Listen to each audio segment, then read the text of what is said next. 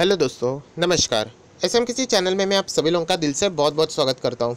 दोस्तों, इस वीडियो में वापस हम लोग यहाँ पे चर्चा करने वाले इंडिया का सबसे बड़ा आईपीओ जो आज तक कभी नहीं हुआ होगा, इतना बड़ा साइज़ रहेगा उसका, आप सभी लोगों को यहाँ पे पता ही चल चुका है। यस दोस्तों LIC के आईपीओ से रिलेटेड बहुत ज़्यादा चर्चा अभी वापस बाज़ार में हम लोग को देखने को मिल रही है।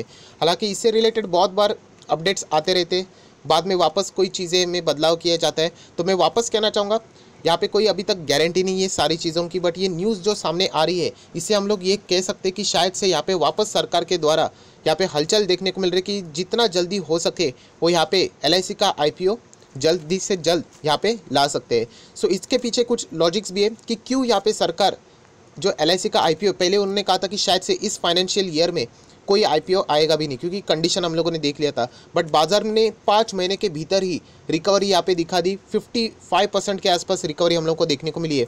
सो यहाँ पे हम लोगों को रोजरी बायोटेक का भी आईपीओ आते हुए देखने को मिला। उसका रिस्पांस भी ज़बरदस्त था लिस्टिंग भी गजब की थी।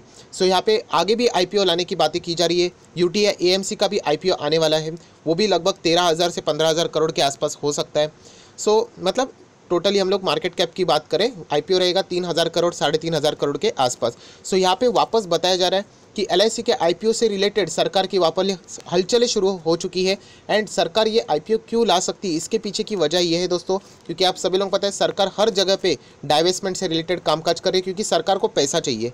फ़िलहाल की सिचुएशन आप सभी लोगों को पता है, चाहे वो BPCL के भी डाइवेस्टमेंट की बात हो एयर इंडिया के डाइवेस्टमेंट की बातें हो या फिर किसी भी कंपनी की या फिर एलआईसी की भी हिस्सा बेचने से रिलेटेड बात हो, या फिर आईआरसीटीसी की भी बात सामने आई थी कि वो ऑफ़र फॉर सेल यहाँ पे ला सकते हैं। तो इसीलिए ये स्ट्रांगली पॉसिबिलिटीज़ बताई जा रही कि इसी साल हम लोग को शायद से एलआईसी का आईपीओ देखने को भी मिल सकता है। हालाँकि गारंटी कुछ भी नहीं है बट जिस तरीके से सरकार यहाँ पे कदम उठा रही है, हम लोग ज़रूर के यहाँ पे कह सकते हैं कि हम लोगों को इसी साल शायद से LIC का आई पी यहाँ पे आते हुए देखने को भी मिल सकता है। बहुत सारे क्वेश्चन है कि उसका साइज़ कितना रहेगा, उसकी प्राइसिंग क्या रहेगी उसी से रिलेटेड हम लोग कुछ यहाँ पे इंपॉर्टेंट बातें देखने वाले हैं। जो लेटेस्ट अपडेट है, वो भी हम लोग इसी वीडियो में यहाँ पे देखने वाले हैं। तो चलिए दोस्तों, फटाफट इस वीडियो को स्टार्ट करते हैं। बट उससे पहले ज़रूर कहना चाहूँगा, अगर एस एम किसी चैनल में फ़र्स्ट टाइम विज़िट किया तो सब्सक्राइब कर लेना। साथ में बेलाइकन को भी प्रेस करना। तो ऐसी इंटरेस्टिंग वीडियो आप लोगों को देखने के लिए मिल जाएँगे। लेटेस्ट वीडियो की बात करें तो इन दोनों वीडियो को बिल्कुल स्किप मत करना। स्पेसिफिकली जो लेटेस्ट वीडियो है स्टॉक मार्केट में बिग लॉस क्या आप इसके लिए तैयार है? ये वीडियो ज़रूर देख लेना दोस्तों। दोनों वीडियो की लिंक आप लोगों को डिस्क्रिप्शन बॉक्स में मिल जाएगी।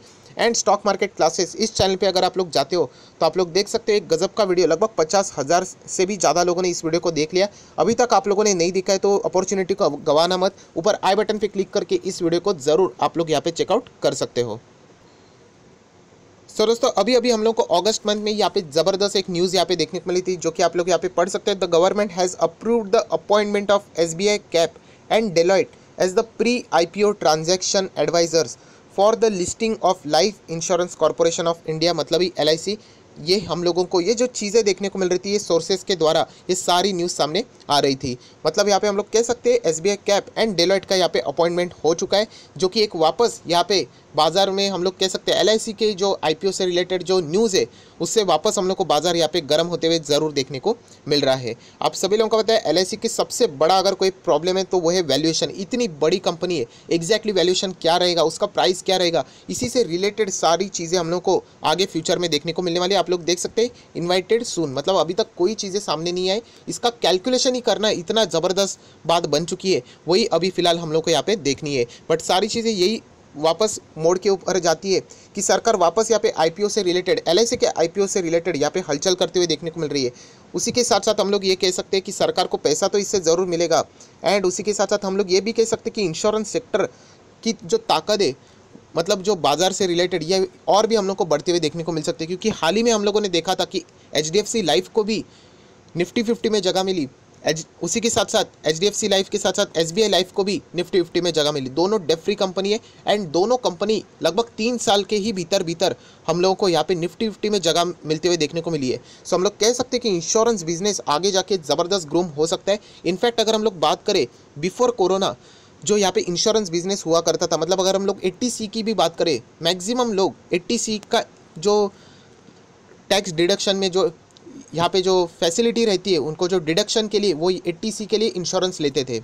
सो यहाँ पे अभी आफ्टर कोरोना बहुत सारे लोगों को पता चला कि इंश्योरेंस लेना कितना ज़्यादा इंपॉर्टेंट है। उसका इंपॉर्टेंस एक्चुअली अभी समझ में आए तो बहुत सारे लोग यहाँ पे इंश्योरेंस की ओर वापस यहाँ पे दोबारा मुड़ सकते हैं। सो हम लोग ज़रूर कह सकते हैं, दो एडवांटेज हम लोग को देखने को मिलेंगे कि इंश्योरेंस सेक्टर आगे ग्रो भी हो जाएगा एंड उसी के साथ साथ अभी वापस बाज़ार रिकवर भी हो चुका है। आईपीओ का सिलसिला शुरू हो भी चुका है। एक ऑलरेडी आईपीओ सक्सेसफुल लॉन्च भी हो चुका है। सो LIC के भी आईपीओ की चर्चा है। अभी बाज़ार में हम लोगों को ज़बरदस्त देखने को मिल रही है। दोस्तों, अगर हम लोग यहाँ पे बात करें, बहुत कुछ छोटी चीज़ों में यहाँ पे लिखा हुआ है, अक्षरों में कोई बात नहीं, मैं सिर्फ़ आपको हाईलाइट करके बता दूँगा तो आप लोग अपडेट ज़रूर रह पाओगे। यहाँ पे बताया जा रहा है कि कितने की प्लानिंग चल रही है तो लगभग सरकार यहाँ पे 10 परसेंट तक के स्टेक यहाँ पे बेच सकते हैं एंड लिस्टिंग कहाँ पे होगी? दोनों जगह नेशनल स्टॉक एक्सचेंज के ऊपर भी एंड बॉम्बे स्टॉक एक्सचेंज के ऊपर भी। दोनों जगह पे हम लोग को ये चीज़ें यहाँ पे देखने को मिलने वाली है। So divestment of an government stake in in L यही अभी हम लोग को देखने को मिलने वाला है। एंड यहाँ पे प्लानिंग हो रही है दोस्तों लगभग अस्सी हज़ार से लेके वन लाख करोड़। यहाँ पे इतना बड़ा मेगा आईपीओ आज तक अभी हम लोगों ने देखा नहीं है।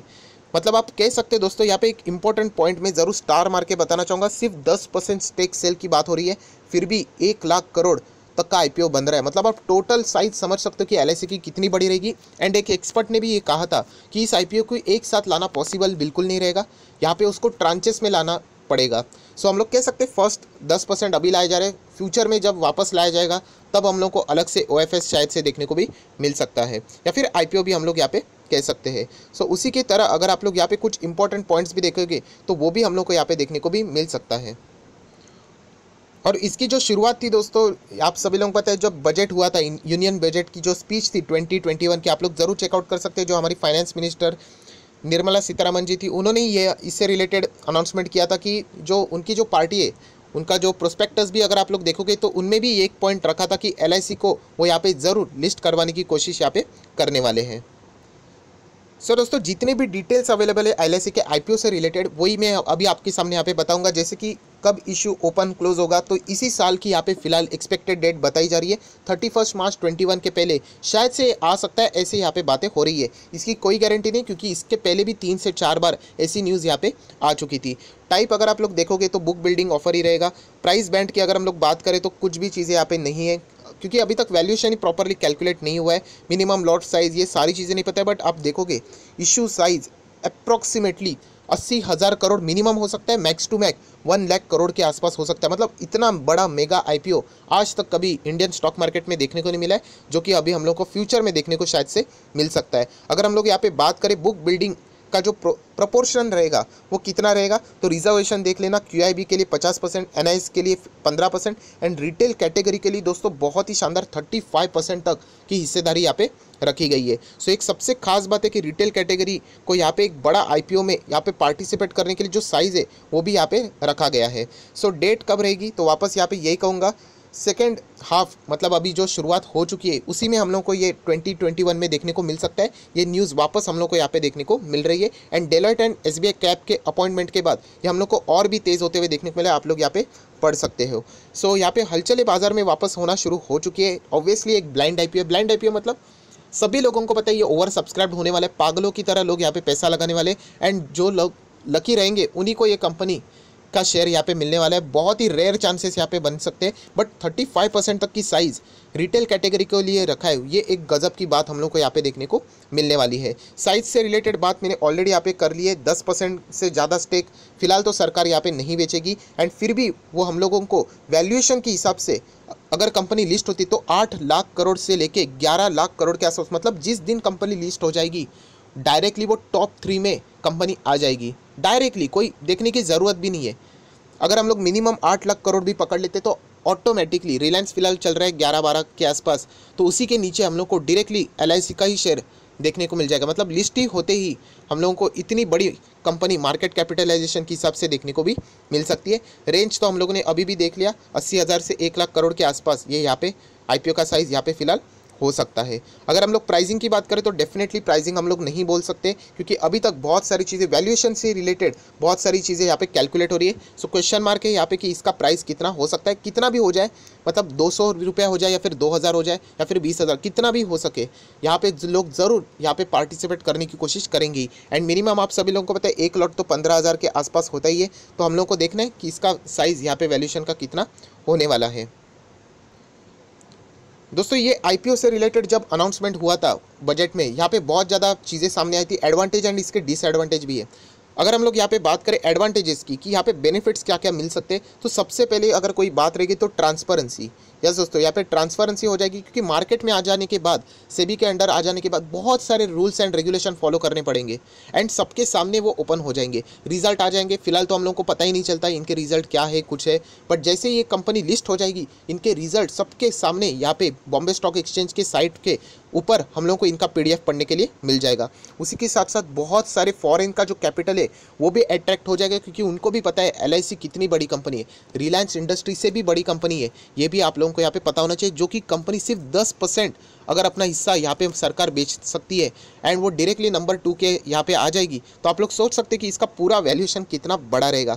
थर्ड अगर इसका बेनिफिट्स है तो यस रिटेल इन्वेस्टर को भी इतने बड़े कंपनी में क्या करने को मिलेगा? हिस्सेदारी खरीदने के लिए पार्टिसिपेट करने का मौका मिलेगा, जो कि डायरेक्टली उनके इक्विटी में उनको खरीदने का मौका मिल सकता है। एंड सबसे खास बात दोस्तों, कि यहाँ पे ownership there will be no change in ownership क्योंकि सरकार कितना सिर्फ़ दस परसेंट के आसपास, उससे ज़्यादा वो हिस्सा नहीं बेचेगी तो नाइन्टी परसेंट स्टिल जो होल्डिंग है वो सरकार के पास रहेंगी। मतलब सरकार ही इस कंपनी के ओनर यहाँ पे फ़िलहाल रहने वाली है। मेजोरिटी स्टेक उन्हीं के पास रहने वाली है। तो डिसीज़न जो भी लेगी, वो सरकार ही यहाँ पे लेने वाली है। डिसएडवांटेज की बात करें तो यहाँ पे बताया जा रहा है कि एल का जो फोकस है, वो फ़िलहाल चल रहा है पब्लिक के ऊपर। बट एक बार लिस्टिंग हो जाने के बाद यहाँ पे बताया जाता है, जो फोकस रहेगा, वो शायद से पब्लिक से थोड़ा सा डाइवर्ट होकर प्रॉफिट के ऊपर भी आ सकता है।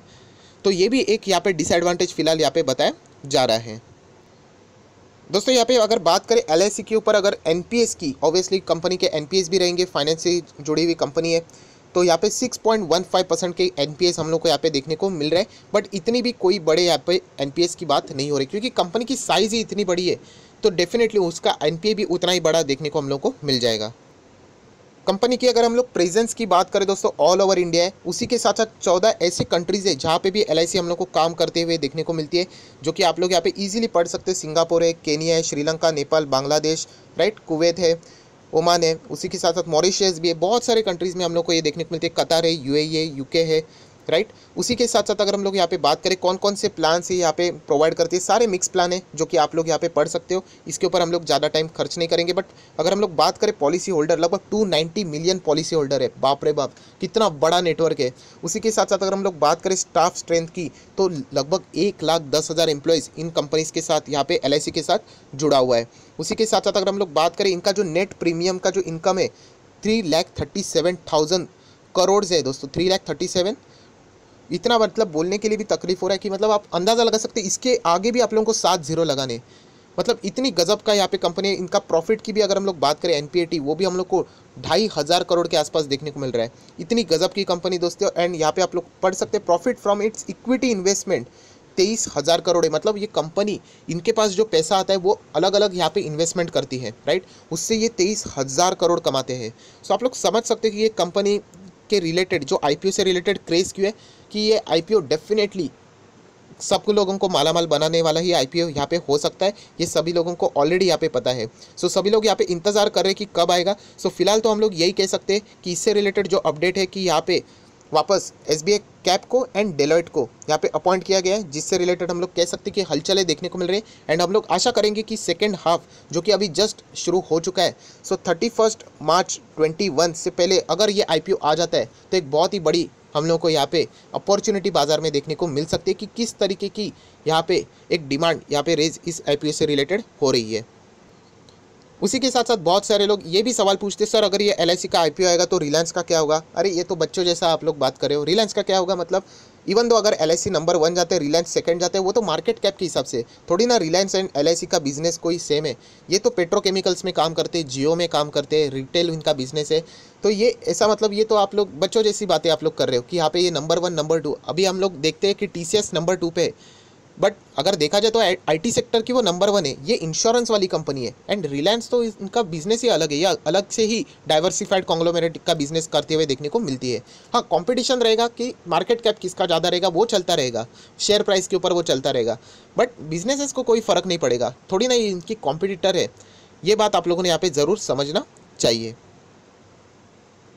सो आई होप आशा करता हूँ दोस्तों, आप लोगों के लिए वीडियो बहुत ही ज़्यादा हेल्पफुल रहा होगा। तो ज़रूर इस वीडियो को यहाँ पे लाइक कर देना, दोस्तों के साथ यहाँ पे शेयर कर देना।